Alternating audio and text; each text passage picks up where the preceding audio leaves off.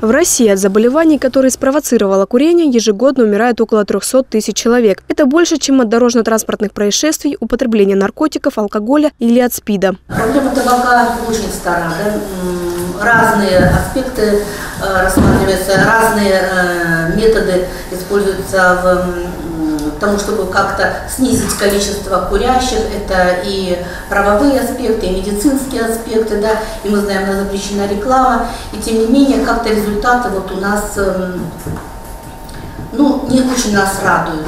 Никотин вызывает сильную зависимость, это подтверждает статистика. 8 человек из 10, кто пробовал табак, становятся заядлыми курильщиками. Также за последнее время количество женщин с сигаретой стало больше, чем мужчин. И помолодели такие заболевания, как хроническая обструктивная болезнь легких, бронхиальная астма и рак легких. На первое место у нас э, выходит Россия именно по табакокурению. И, к сожалению, эта цифра ну, есть тенденция к уменьшению, и все-таки среди молодых потребность высокая. Так у меня на приеме вот недавно был мужчина, и когда я ему буквально вчера задала вопрос, когда он начал курить, 6 лет, курил по три пачки.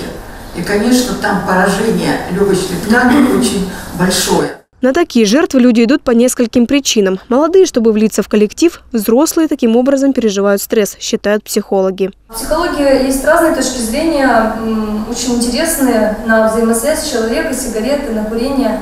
Одна из них, например, э, заключается вот как раз в психологических особенностях да, курильщика.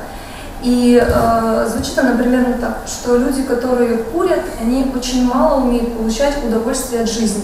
Сегодня существуют эффективные методы лечения, а также средства, которые заменяют никотин. Но это точно не новомодные вейпы или кальяны. На самом деле, вот эта подогретая жидкость, жидкость которую порыли да, выдают, там очень много, это очень вредно для организма вещества.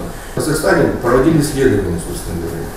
Нормальные исследования провели. Оказалось, что в кальяне находится стрептококки, стафилококк, синегнойная палочка. По словам специалистов, бросить курить можно как самостоятельно, так и с помощью профессионалов. Для этого в Владивостоке существуют специальные бесплатные программы. За последний год к врачам-наркологам обратилось более двух тысяч человек. Это на 500 курильщиков больше, чем в 2015 -м. А еще Всемирный день отказа от табака может стать поводом навсегда избавиться от вредной привычки. Стоит только захотеть. Алина Черненко, Станислав Лазебный. Новости на восьмом.